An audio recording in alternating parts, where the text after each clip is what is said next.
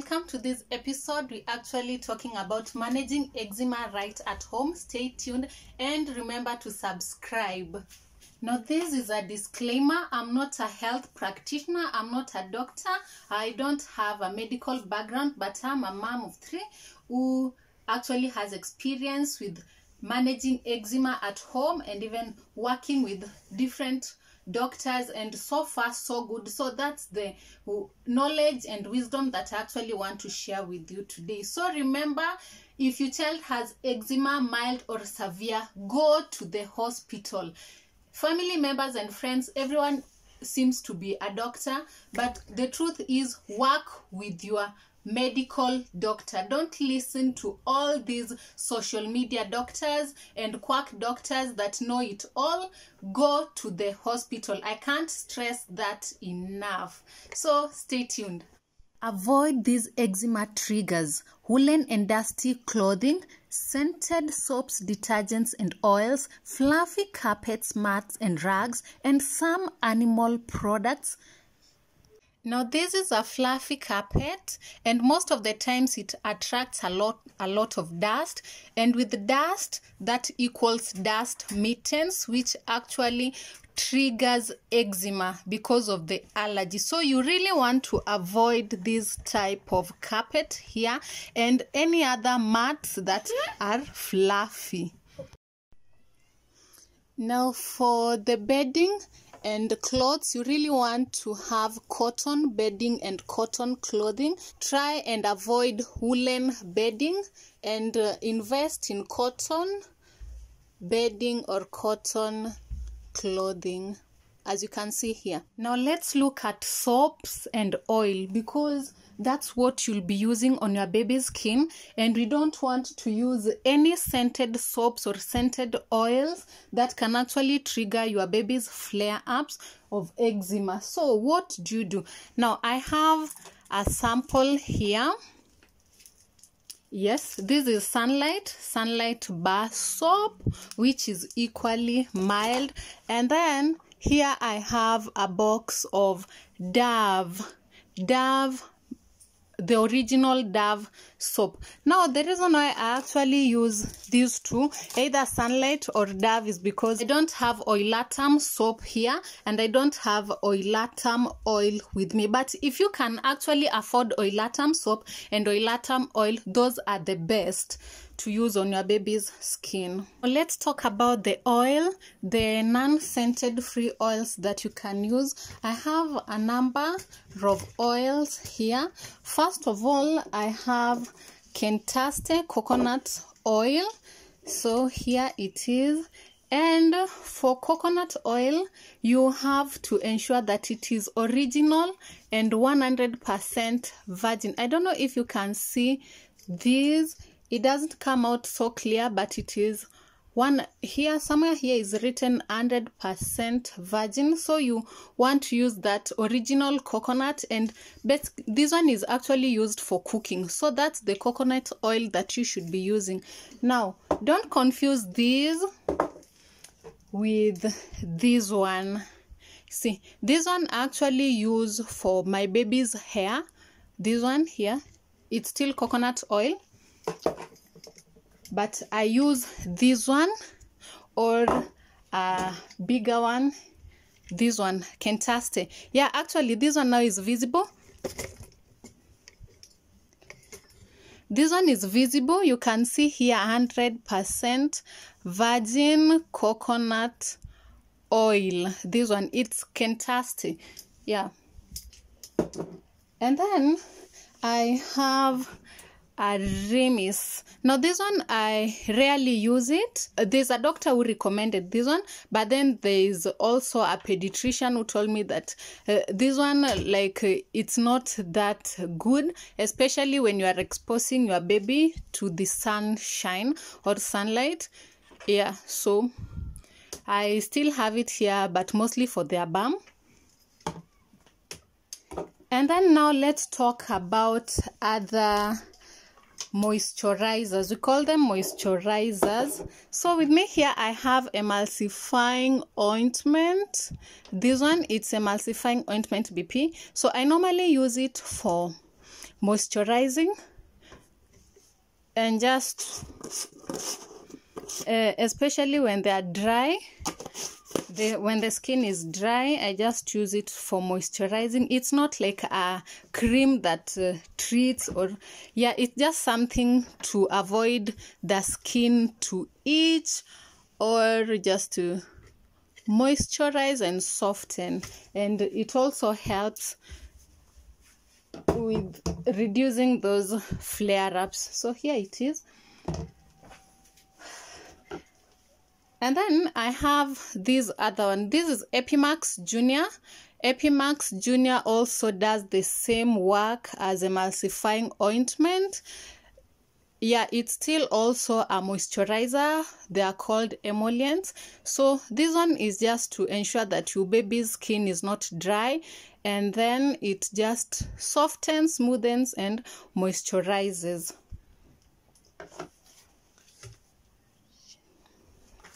I so for very severe eczema I have here it's Ellicott. Now this is an example of hydrocortisone. You can actually see here it's written Ellicott hydrocortisone something something. So it has hydrocortisone that is 1% and hydrocortisone is a steroid. So I normally use this when the eczema is severe.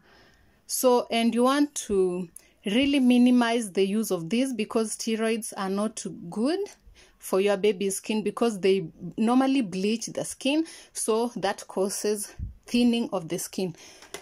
And i also have another one here. It it looks ugly but it serves the purpose. It's elocom. Now this is my go-to friend especially when the eczema is now severe. Now i normally use this so for this product don't use it because you saw it somewhere on a video. Do consult your doctor consult your pediatrician consult your dermatologist your dermatologist before you use it. It's it has a high percentage of steroids and like i mentioned steroids are not good for your child's skin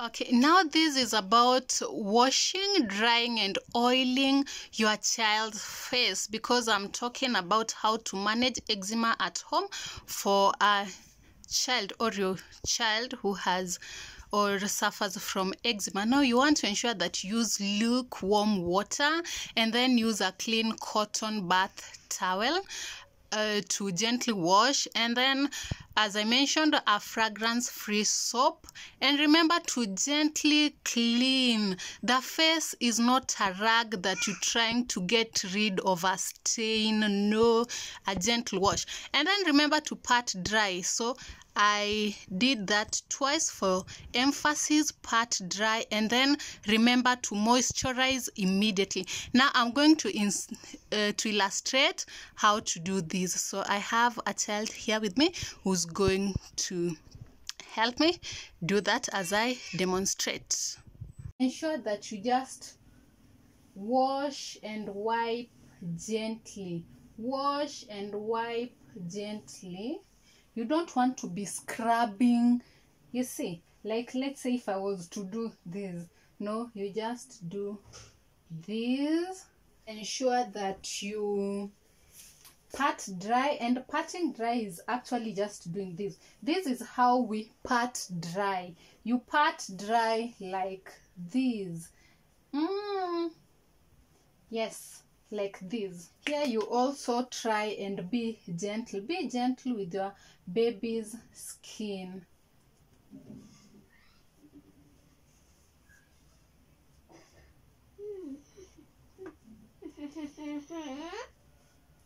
quiet. Yes so there i have moisturized his face with uh, our emulsifying ointment. And as you can see i didn't do it so roughly you know. You just moisturizing and you do it gently. This is about introducing new food. When you are introducing a new food that you haven't given your baby before ensure that you use a three day period to check your baby's reaction either the skin or just the general body reaction.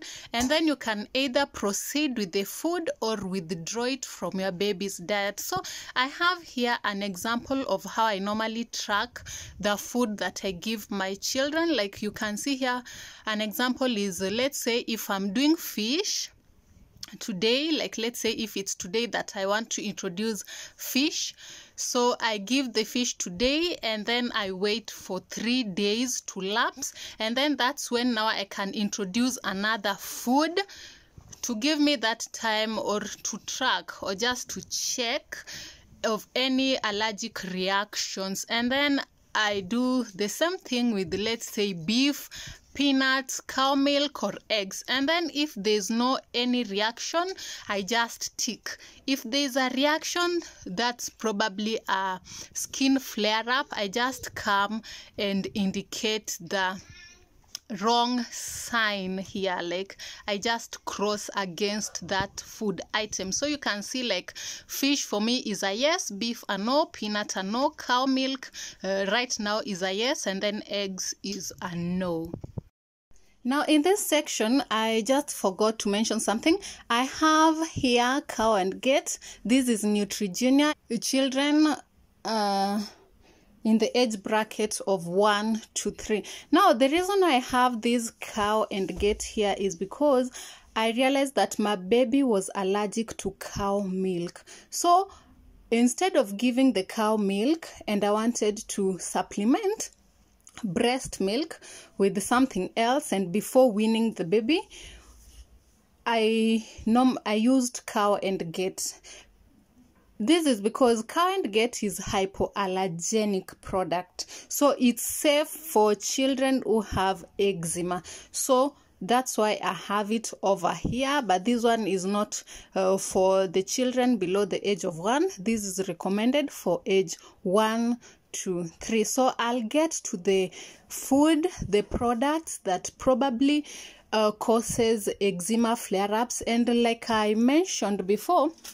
you have to work with your doctor and you have to you have to consult your nutritionist you have to consult your dermatologist and all these people just before using any product that you can see here. And another thing there's no product here that uh, serves marketing purposes or that uh, sponsors this video. These are my own products at home that i normally use for eczema management so, like I mentioned before, I said that fish for my children it normally works very well with them, so they don't have allergy for fish. So, as you can see here, I have a number of raw fish here that I'll be cooking later for them. They don't react to fish. So, there we go. And uh, this fresh fish I normally get from Christabel Okelo. I'll be leaving her link at the description box. So in any case you are in a location as I am in Kenya, Nairobi, you can actually reach out to her. There nice fresh fish as you can see.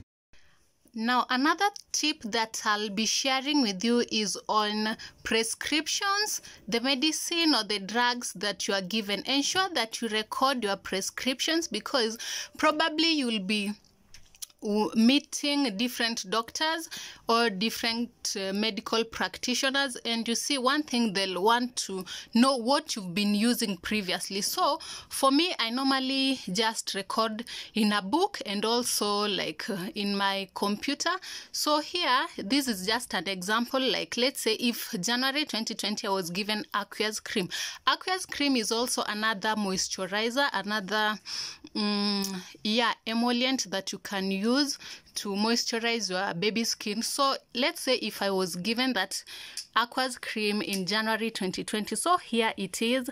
Let's assume february 2020 i was given emulsifying ointment and baby syrup panadol i have it here. And then let's uh, if april 2020 i was given elocom cream and dawacot plus Chemoxil syrup so i have it recorded here.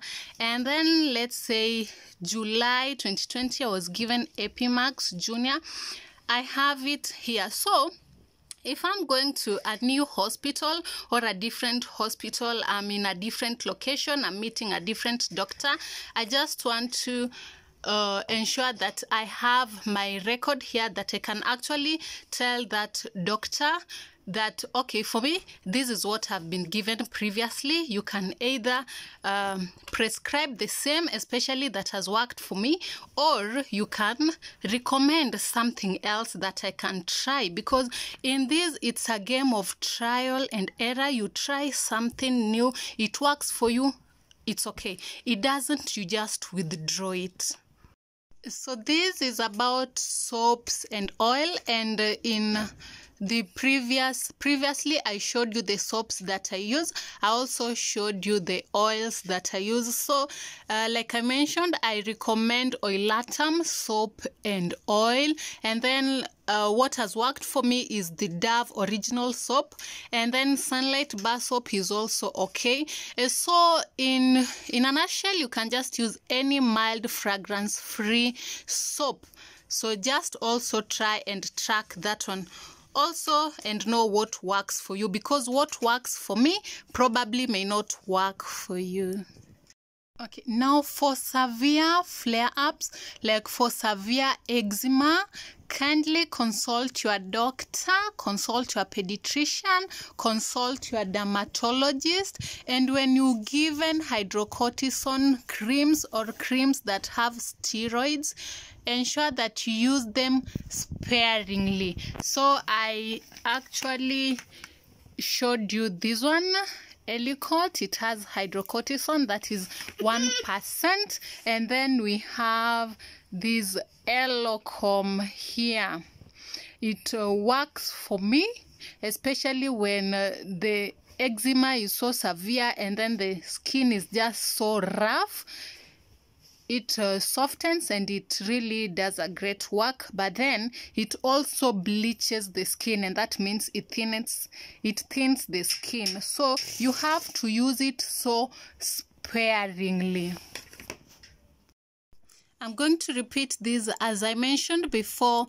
You have to consult a health facility. You have to heed to your doctor's or dermatologist advice and don't depend on your friends and family members because they are not doctors, especially the, one, the ones with no medical background.